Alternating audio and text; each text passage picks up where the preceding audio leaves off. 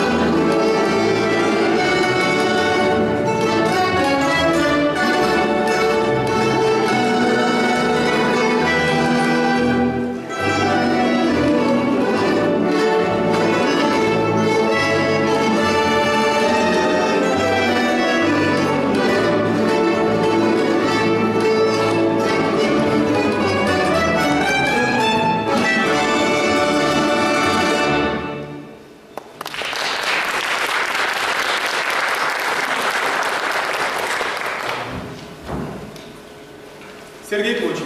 озорный.